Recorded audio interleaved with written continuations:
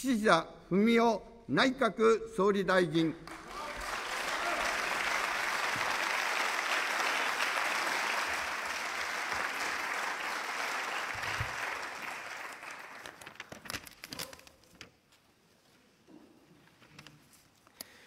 第210回国会の開会に臨み、日本を守り、未来を切り開く覚悟を新たにしています。足元の物価高への対応に全力をもって当たり、日本経済を必ず再生させます。多層的な外交の展開と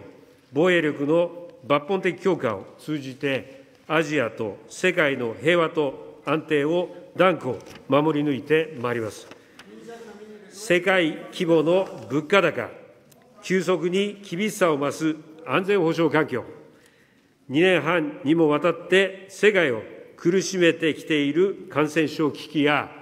エネルギー、食料危機、さらには温暖化による気候危機、半年以上も緊迫した情勢が続くロシアによるウクライナ侵略、国際秩序を揺るがす地政学的挑戦、大きな変わり目を迎える核不拡散体制、今、日本は国難ともいえる状況に直面しています。世界が、そして日本が直面する歴史的な難局を乗り越え、我が国の未来を切り開くため、政策を一つ一つ果断にかつ丁寧に実行していきます。どんな困難が、困難も皆が力を合わせ、一歩一歩前に進むことで必ず乗り越えることができる。先日訪問した福島で私はその思いを一層強くいたしました。長期にわたり帰還が困難とされた区域への住民の帰還、55の国と地域のうち43の国と地域での輸入規制の撤廃、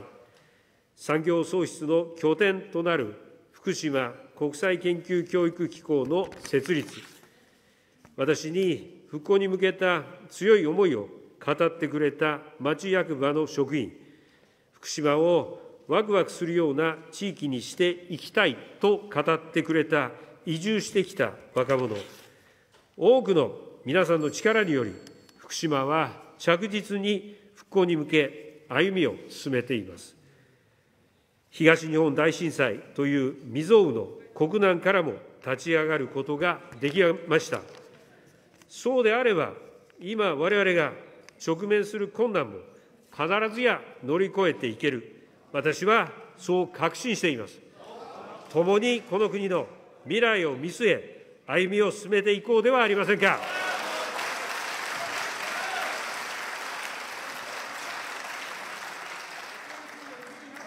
先週執り行った安倍元総理の国葬儀は、厳粛かつ心のこもったものとなりました。海外からお越しになった多数の参列者の方々から寄せられた弔意に対し、礼節をもって丁寧にお答えすることができたと考えております。その際、国民の皆様からいただいたさまざまなご意見を重く受け止め、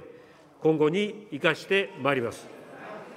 また、旧統一教会との関係については、国民の皆様の声を正面から受け止め、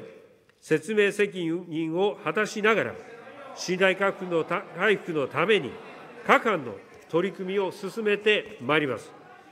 政府としては、寄せられた相談内容を踏まえ、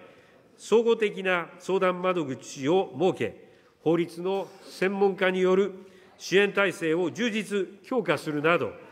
悪質商法や悪質な寄付による被害者の救済に万全を尽くすとともに、被害者契約に関する法令等について、失礼、えー、失礼いたしました。消費者契約に関する法令等について、見直しの検討をいたします。国民の皆様からの厳しい声にも、真摯に、謙虚に、丁寧に向き合っていくことをお誓いいたします。厳しい意見を聞く、まあ、姿勢にこそ、政治家、岸田文雄の原点があるとの初心を改めて肝に銘じながら、内閣総理大臣の職責を果たすべく、全力で取り組んでまいります。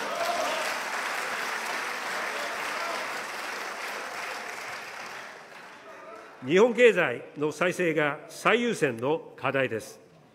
我が国はコロナ禍を乗り越え、社会経済活動の正常化が進みつつあります。しかし、足元では、ロシアによるウクライナ侵略と、円安によるエネルギー、食料価格の高騰、世界の景気後退懸念が日本経済の大きなリスク要因となっています。新しい資本主義の旗印の下で、物価高、円安への対応、構造的な賃上げ、成長のための投資と改革の3つを重点分野として取り組んでいきます。まず、物価高、円安への対応です。我々は食料品とエネルギーを中心に生活に身近な商品の値上がりが続く事態に対し、機動的な対応を行ってきました。先月には、食料品やガソリンの値上がりを抑えるための追加策を取りまとめました。特に家計への影響が大きい低所得世帯向けに緊急の支援策を講じました。間を空けることなく、今月中に総合経済対策を取りまとめ、何としても、この物価高から国民生活と事業活動を守り抜きます。食料品については、すでに輸入小麦価格、配合飼料の負担を10月以降も据え置く措置を講じています。これから来年春にかけての大きな課題は、急激な値上がりのリスクがある電力料金です。家計、企業の電力料金負担の増加を直接的に緩和する前例のない思い切った対策を講じます。さらには、エネルギー安定供給の確保、再エネ、省エネの推進、農産物の国内生産を通じた食料安全保障の確保など、エネルギー、食料品について危機に強い経済構造への転換に取り組みます。円安に対しては、これらの対応と合わせ、円安のメリットを最大限引き出して国民に還元する政策対応を力強く進めます。今月11日からビザなし渡航、個人旅行再開など、インバウンド観光を復活させ、訪日外国人旅行消費額の年間5兆円超の達成を目指します。全国旅行支援やイベント支援も再開し、コロナ禍からの需要回復、地域活性化を図ります。さらに、円安メリットを生かした経済構造の強靭化を進めます。半導体や蓄電池の工場立地、企業の国内回帰や農林水産物の輸出拡大などに取り組みます。次に、構造的な賃上げです。なぜ日本では長年にわたり大きな賃上げが実現しないのか。そこには、賃上げが高いスキルの人材を引きつけ、企業の生産性を向上させ、さらなる賃上げを生むという好循環が機能していないという構造的な問題があります。ひとたびこのサイクルが動き出せば、人への投資がさらに進み、この好循環は加速していきます。そのため、賃上げと労働移動の円滑化、人への投資という3つの課題の一体的改革を進めます。物価高が進み、賃上げが喫緊の課題となっている今こそ、正面から果断にこの積年の大問題に挑み、構造的な賃上げの実現を目指します。まず、官民が連携して、現下の物価上昇に見合う賃上げの実現に取り組みます。公的価格においても、制度に応じて民間給与の伸びを踏まえた改善等を図るとともに、見える化を行いながら、看護、介護、保育をはじめ、現場で働く方々の処遇改善や業務の効率化、負担軽減を進めます。また、リスキリング、すなわち成長分野に移動するための学び直しへの支援策の整備や、年功制の職能給から日本にあった職務給への移行など、企業間、産業間での労働移動円滑化に向けた指針を来年6月までに取りまとめます。特に個人のリスキリングに対する公的支援については、人への投資策を5年間で1兆円のパッケージに拡充します。合わせて同一労働、同一賃金について、その遵守を一層徹底してまいります。新しい働き方に対応するため、個人がフリーランスとして安定的に働ける環境を作るべく、法整備にも取り組みます。また、中小企業における賃上げに向け、生産性向上とともに、公正取引委員会等の執行体制を強化し、価格転嫁を強力に進めます。そして、成長のための投資と改革です。社会課題を成長のエンジンへと転換し、持続的な成長を実現させる、この考えのもと、科学技術、イノベーション、スタートアップ、GX、DX の4分野に重点を置いて官民の投資を加速させます。第一の科学技術イノベーションについては、国家戦略、国家目標の策定を進めてきた量子、AI、バイオなどの分野において、官民の投資をこれまで以上に進めていくための方策を早急に具体化します。また、分離の枠を超えて行う成長分野への大学等の学部再編促進や、若手研究者の育成に向けた支援強化、処遇見直しを通じた教職員の質の向上にも取り組みます。第2のスタートアップについては、私自身、全国各地で多くのスタートアップの創業者と意見交換を行ってきました。日本ならではの技術を用いた最先端のバイオものづくり、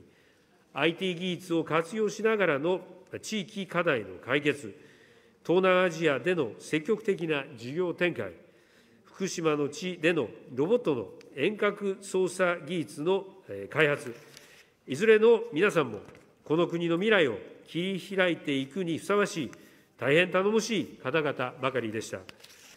第2、第3のトヨタ、ホンダ、ソニーは、彼ら挑戦者の中から生まれる、その強い思いから、本年をスタートアップ元年とし、スタートアップ5年10倍増を視野に、5か年計画の策定に取り組んでいます。公共調達における優遇制度の抜本拡充、税制上の優遇措置や資金面の支援に加え、若く優れた IT 分野の才能の発掘・育成、日本と海外のスタートアップエコシステムの接続など、スタートアップ人材への投資も進めます。第3に、グリーントランスフォーメーション、GX への投資です。年末に向け、経済、社会、産業の大変革である GX 推進のためのロードマップの検討を加速します。その中で、成長志向型カーボンプライシング、規制制度一体型の大胆な資金支援、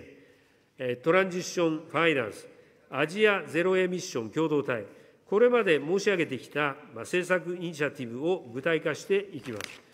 同時に GX の前提となるエネルギー安定供給の確保については、ロシアの暴挙が引き起こしたエネルギー危機を踏まえ、原子力発電の問題に正面から取り組みます。そのために、十数基の原発の再稼働、新たな安全メカニズムを組み込んだ次世代革新炉の開発建設などについて、年末に向け、専門家による議論の加速を指示いたしました。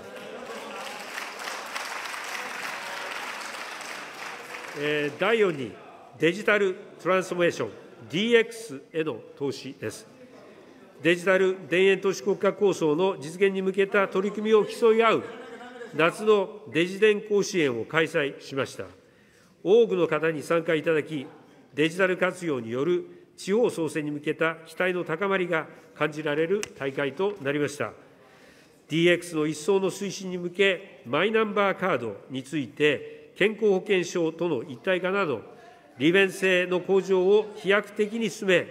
おおむねすべての国民への普及のための取り組みを加速するとともに、地域でのデジタル技術の社会実装を重点的に支援していきます。また、メタバース、NFT を活用した Web3 サービスの利用拡大に向けた取り組みを進めます。産業の米といわれ、大きな経済効果、雇用創出が見込まれ、経済安全保障の要でもある半導体は、今後特に力を入れていく分野です。熊本に誘致した TSMC の半導体工場は、地域に10年間で4兆円を超える経済効果と、7000人を超える雇用を生むと試算されています。我が国だけでも10年間で10兆円増が必要とも言われる、この分野に官民の投資を集めていきます。今回の総合経済対策では、中核となる日米共同での次世代半導体の技術革新、量産化や、ビヨンド 5G の研究開発など、最先端の技術開発強化を進めます。規制改革にも取り組みます。2年でアナログ的規制を一掃し、新産業の創出、人手不足の解消、生産性の向上や所得の増大につなげます。ここで新型コロナ対応についても申し上げます。この1年、国民の命と健康を守りながら、社会経済活動を止めない、専門家の皆さんの意見を聞きながら、この2つの両立に全勢力を傾けてまいりました。3年ぶりに緊急事態宣言等の行動制限を行わずに、今年の夏を乗り切れたのは、国民の皆様、お一人お一人が基本的な感染対策を徹底してくださったおかげです。また、日々の感染リスクがある中で、医療、福祉の現場を支えていただいている方々に厚く御礼を申し上げます。これから秋が深まるにつれ、インフルエンザと新型コロナが同時流行した時の備えが重要となります。何よりも重要なのはワクチンによる予防です。先月からオミクロン株に対応した新型ワクチンの接種を開始しました。今月末までには、対象者全員分の新型コロナワクチンが輸入される見込みです。年末年始に備えて山場となる今月から11月にかけて、接種券の配布、会場確保など、1日100万回を超えるペースの体制を整備して、ワクチン接種を加速していきます。インフルエンザとの同時流行を想定した外来等の保健医療体制の確保も進めます。また、先月には、ウィズコロナに向けた新たな段階への移行の全体像をお示ししました。科学的知見に基づきながら、できるだけ平時に近い社会経済活動が可能となるよう取り組んでまいります。マスクについては、引き続き屋外は原則不要です。近くで会話をしない限り、屋外でのマスクは必要ありません。基本的な感染対策はメリハリをつけて、マスクは場面に応じた適切な着脱に努めていただきたいと思います。これらの取り組みに加え、次の感染症危機に備え、法律に基づき、機動的かつ効果的な緊急時対応が可能となるよう、感染症法等の改正案を提出いたします。また、司令塔機能の強化、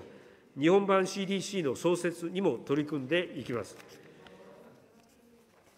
ことしも全国各地で大雨、台風、地震、噴火などの自然災害が相次ぎました。お亡くなりになられた方々に哀悼の意を表するとともに、被災されたすべての皆様に心よりお見舞いを申し上げます。線状降水帯による豪雨など、災害が激甚化、頻発化する中で、国民の生命、財産を守り、災害の被害に遭う方を一人でも減らすことは、われわれの使命です。5か年加速化対策を推進するとともに、さらなる取り組みのための新たな基本計画を策定し、中長期的かつ継続的に防災・減災国土強靭化に取り組みます。また、新しい資本主義を支える基盤となるのは、老若男女、障害のある方もない方も、すべての人が生きがいを感じられる多様性のある社会です。全世代型社会保障の構築を進め、少子化対策、子育て、子ども世代への支援を強化するとともに、女性活躍、孤独・孤立対策など、包摂社会の実現に取り組みます。昨年の福岡に続き、静岡で幼いお子さんが送迎バスの中に置き去りにされ、お亡くなりになるという痛ましい事故が再び起こってしまいました。二度とこうした悲劇を繰り返すことがないよう、送迎バスの安全装置の義務化と支援措置を含む緊急対応策を講じてまいります。以上申し上げてきた日本経済再生、新型コロナをはじめとした山積する課題に対応するため、先日、新たな総合経済対策の策定を指示しました。今月中に取りまとめを行い、その内容を踏まえて、今国会に補正予算を提出いたします。全力で国民の暮らしを守り、この国の未来を切り開いていこうではありませんか。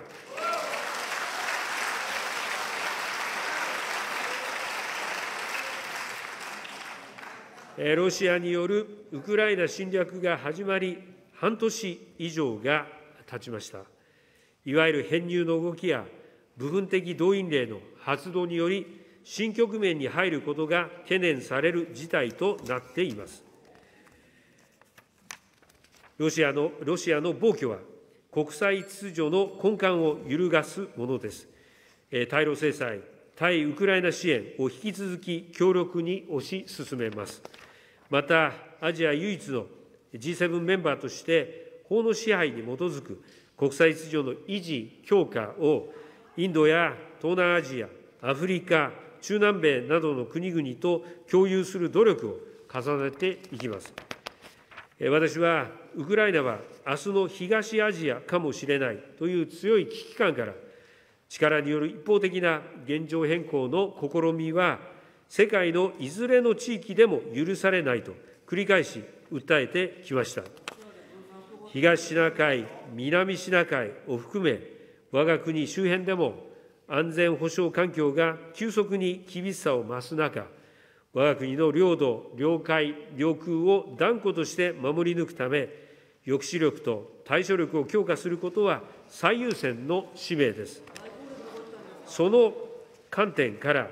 我が国防衛力の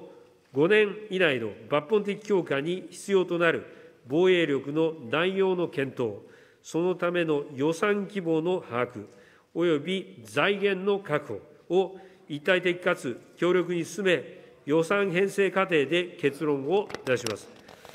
これまで議論を進めてきている新たな国家安全保障戦略等を本年末までに策定をいたします。いわゆる反撃能力を含め、国民を守るために何が必要か、あらゆる選択肢を排除せず、現実的な検討を加速します。合わせて海上保安能力の強化にも取り組みます。経済安全保障も重要な課題です。経済安全保障推進法の円滑な施行とともに、宇宙、海洋、サイバーなどの重要技術の育成に取り組みます。我が国の安全と繁栄にとって、日米同盟の強化がますます重要です。抑止力と対処力を一層強化し、地域の平和と安定及び国際社会の繁栄に貢献していきます。同時に、基地負担軽減にも引き続き取り組みます。普天間飛行場の一日も早い全面返還を目指し、辺野古への移設工事を進めます。併せて強い沖縄経済を作るための取り組みを進めます。自由で開かれたインド太平洋を推進するため、日米豪印等も活用しつつ、実質的な協力を一層進め、ASEAN や欧州、大洋州などのパートナーとの連携を強化します。そのための新たなプランを策定します。経済面でも IPEF 等の取り組みにおいて具体的な成果を目指します。先月、先月、日中国交正常化50周年を迎えました。両国間には現在でも様々な懸案がありますが、主張すべきは主張し、責任ある行動を強く求めつつ、諸懸案も含め、対話をしっかりと重ね、共通の課題については協力する、建設的かつ安定的な関係を日中双方の努力で構築していきます。ウクライナ情勢によって、日露関係は厳しい状況ではありますが、我が国として領土問題を解決し、平和条約を締結するとの方針を堅持いたします。韓国は国際社会におけるさまざまな課題への対応に協力していくべき重要な隣国です。国交正常化以来、築いてきた友好協力関係の基盤に基づき、日韓関係を健全な関係に戻し、さらに発展させていく必要があり、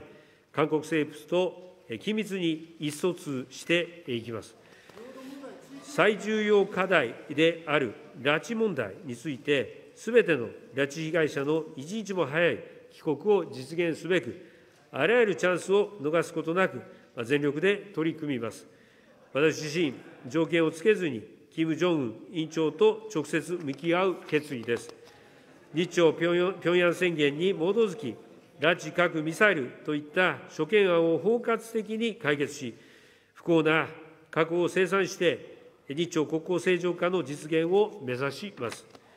先般の NPT 運用検討会議において、ロシアの反対により、え成果文書が採択されなかったことは極めて遺憾です。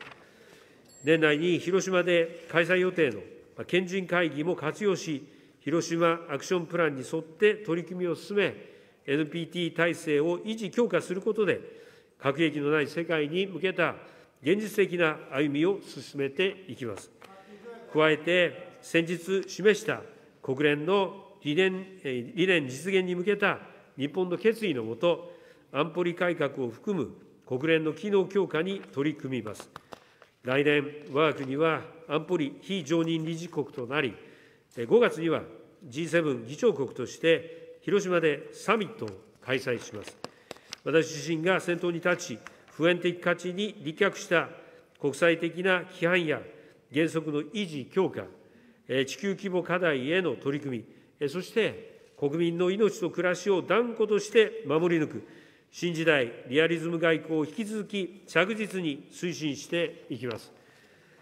最後に、この国の根幹に関わる重要な課題として、選挙制度と憲法について申し上げます。衆議院議員の選挙区について、本年6月の衆議院議員選挙区画定審議会の勧告に基づいた改定を行うため、公職選挙法の改正案を今国会に速やかに提出いたします。先の第208回国会においては、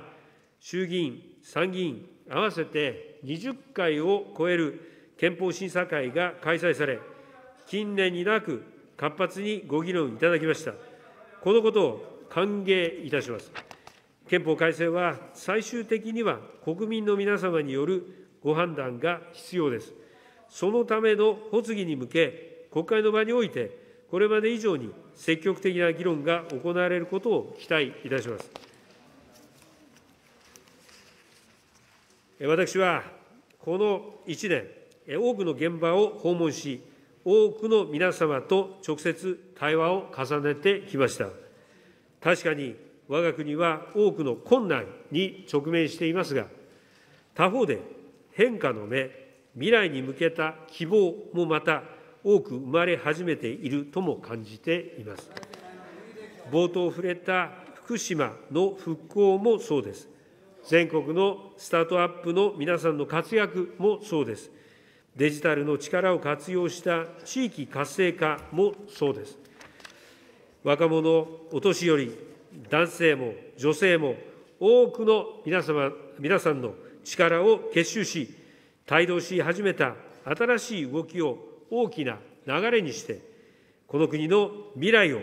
切り開いていきたいと思います。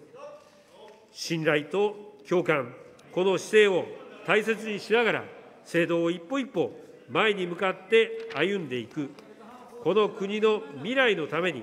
これからも全身全霊で取り組んでまいります。ご清聴ありがとうございました。